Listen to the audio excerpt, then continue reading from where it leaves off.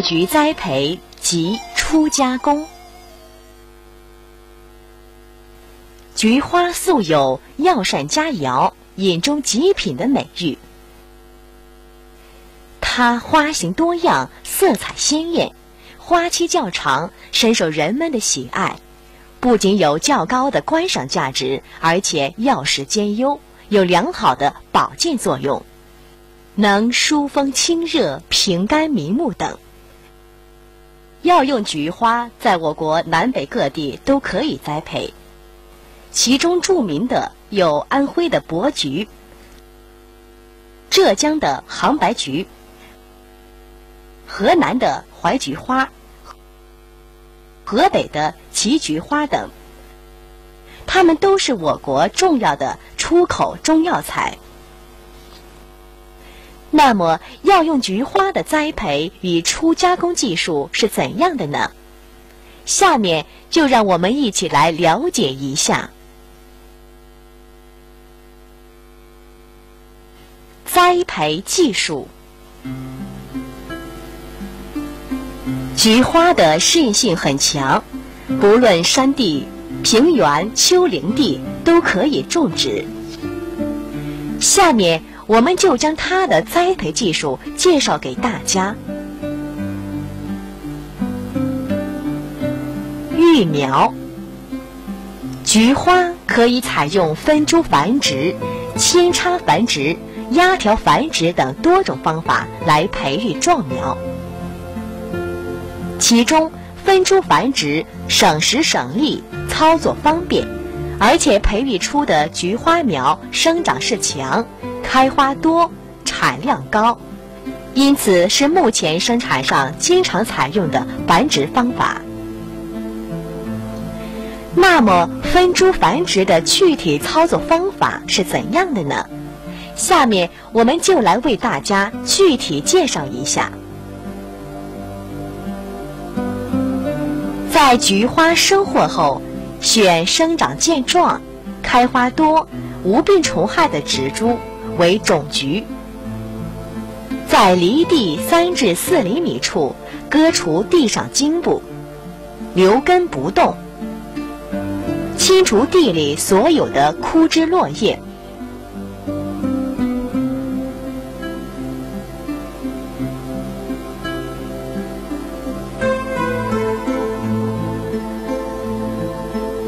当年冬天，在菊花根茎部。堆上松土与草木灰，厚度高出根茎顶端十至十五厘米，保护种根过冬。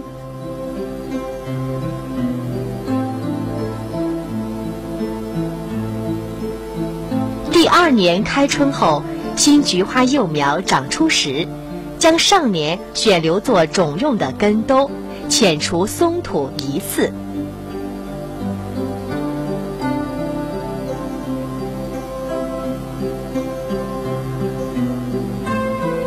然后追施一次稀薄的人粪尿，或浇施一比一百倍的尿素液，促使种兜早生快发，培育壮苗。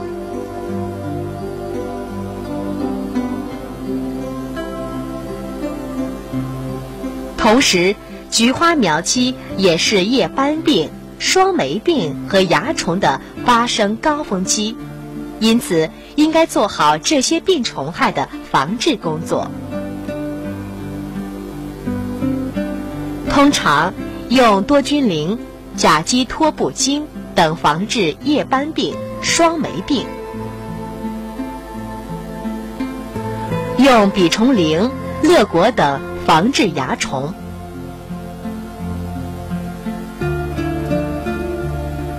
移栽。栽培要用菊花，要选择地势高燥、土地肥沃、排灌方便、阳光充足的壤土或沙质土壤进行。要求土壤 pH 值在六至八之间。整地前，每亩施入优质农家肥四千千克，过磷酸钙五十千克，豆饼四十千克做基肥。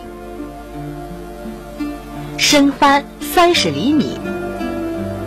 为了使土穗平整，肥土充分混合，地块生耕后，要及时开展坝压整地作业，做到坝细坝透，上松下实，地面平整，以利于后续的移栽作业。地块坝系整平后，做成宽一点五至两米，高。二十五至三十厘米的高畦。为了便于后期的施肥、除草等一系列田间作业，要开好田沟，要求沟宽在四十至五十厘米。同时，田沟还可以保证遇渍能排、遇旱能灌，给菊花提供良好的土壤水分环境。谷雨前后，为避免失水影响成活率，最好选择阴天或晴天的傍晚，把母株带土挖起，顺着苗株分成带根的单株，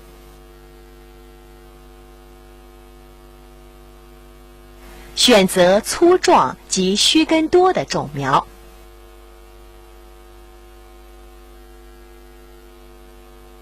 剪去侧根和根尖，留基部二十厘米左右，上部全部剪除。剪后，每株菊花可以发新枝五至六根。在整好的旗面上，按行距五十厘米、株距三十厘米，挖深十厘米左右的穴，浇透水。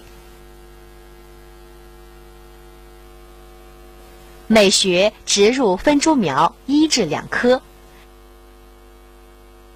栽后覆土压实。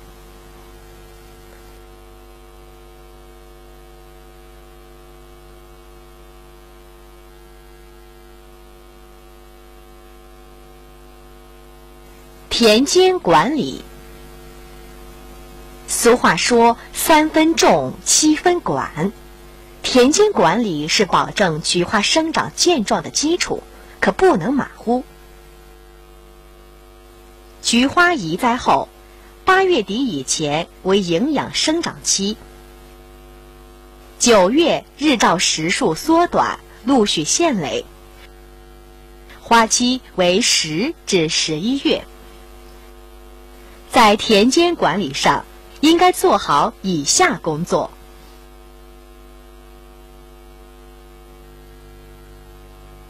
苗期管理，苗期指从五月中下旬菊花移栽后到六月初的一段时间。菊花缓苗后，要及时查苗补苗，发现病株、死株要及时挖出，补上健壮的小苗。对补栽的秧苗要及时浇水。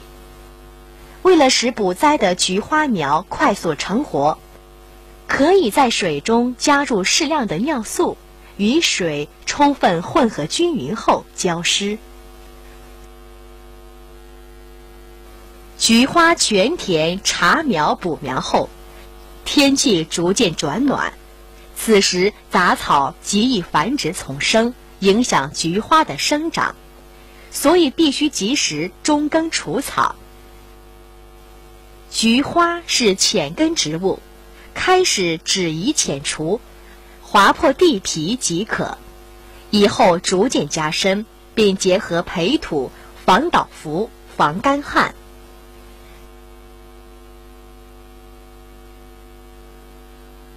中除时应注意不要碰伤菊花的茎皮。以减少病虫害的发生。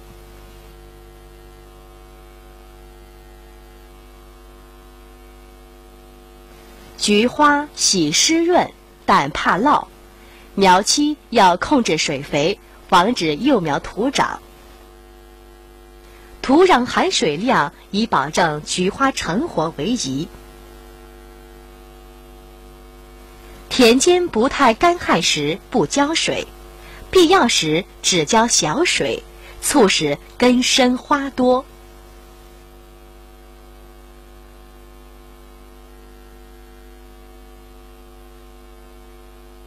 分枝期管理，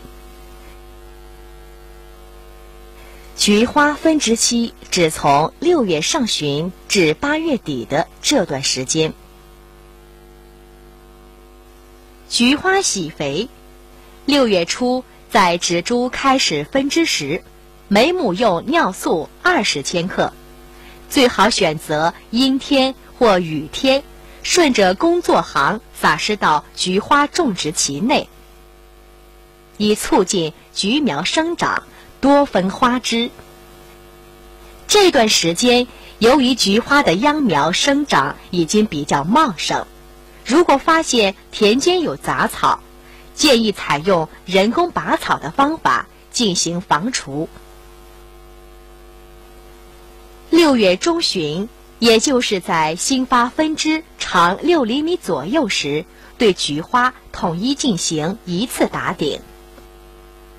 可以促进菊花分枝，增加单位面积上的花枝数量。打顶的方法很简单，操作时只要摘去分枝顶端芽就可以了。打顶后，每株菊花可以发新枝十一至十二根。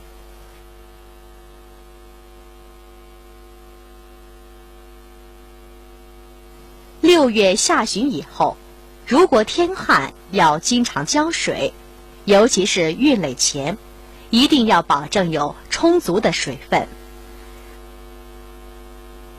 如果雨量过多，应疏通大小排水沟，及时排除田间积水，否则易生病害和烂根。这段时间也正是我国北方的多雨季节，菊花易发生枯萎病，严重影响菊花的生长。防治方法是移栽前用呋喃丹处理菊苗和栽种穴，发现病株要及时拔除。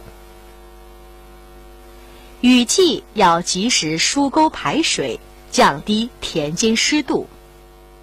在七至八月间，菊花生长旺盛时，菊天牛多在菊花茎梢咬成一圈小孔产卵，在茎中筑食。因此，在发现菊花断茎之后，必须从尾蔫断茎以下三至六厘米处摘除受害茎梢，集中烧毁。并趁早晨露水未干时，进行人工捕捉，或用百分之五十磷胺乳油一千五百倍液喷雾。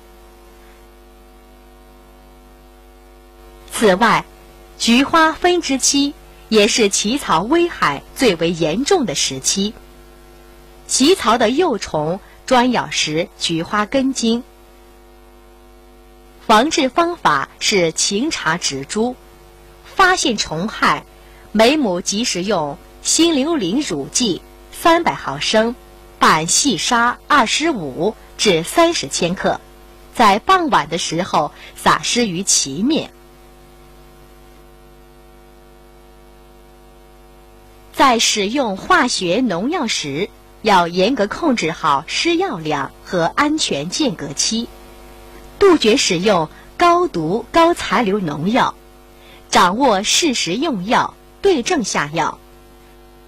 同一种农药在菊花的整个生长周期，应控制在只施用一次。蕾期管理，蕾期指从九月初，菊花开始现蕾。到十一月上旬采收之前这段时间，菊花根系发达，为喜肥作物，种施累肥，可促进菊花后期发科，花枝多，结蕾多，产量高。施肥可选在寒露前后，及菊刚现蕾时进行。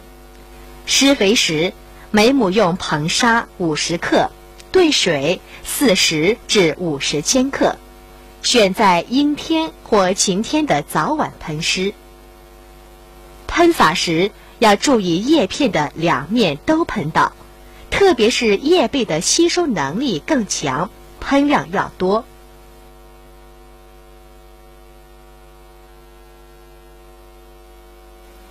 为了促进菊花多结蕾开花，以后每隔七天使用百分之零点二磷酸二氢钾溶液均匀喷于叶面，用量以连续喷施三至四次为宜，促使菊花蕾多、蕾硕、花朵大。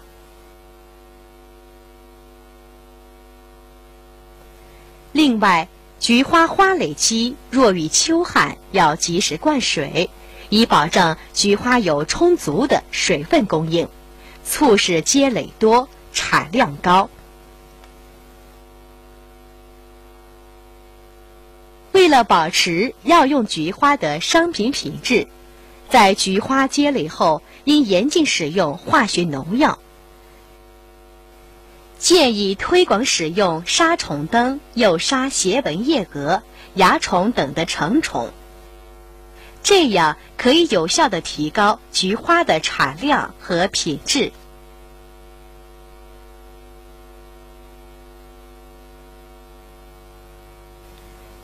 采收与初加工，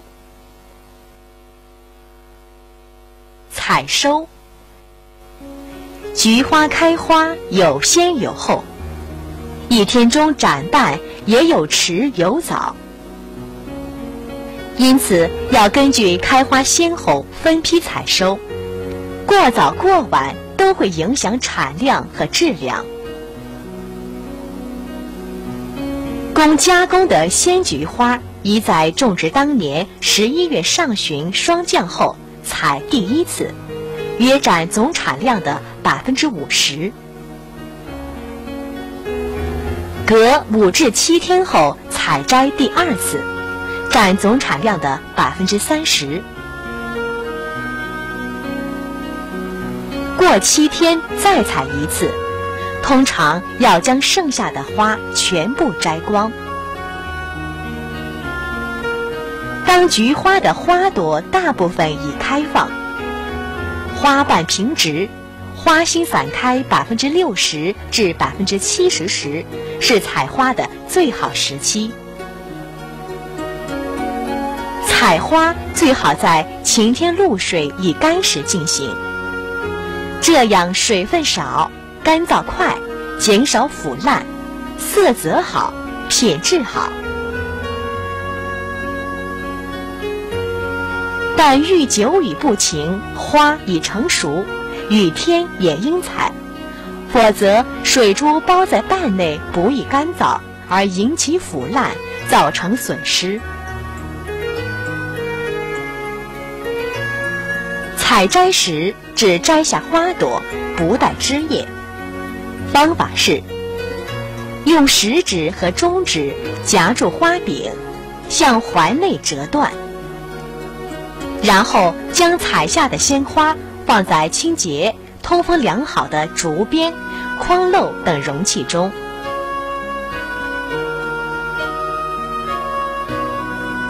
如果操作熟练，每天可采鲜花六十至七十五千克。鲜花采回后立即干制，切忌堆放，应随采随烘干。最好是采多少烘多少，减少损失。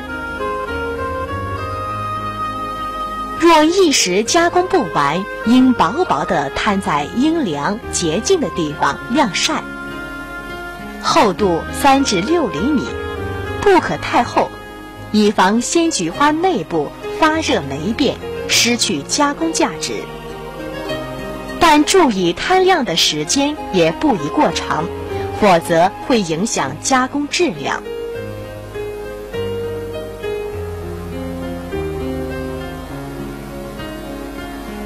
加工，菊花具有清热泻火、疏肝明目等多种药用功能，是人们喜爱的营养保健品之一。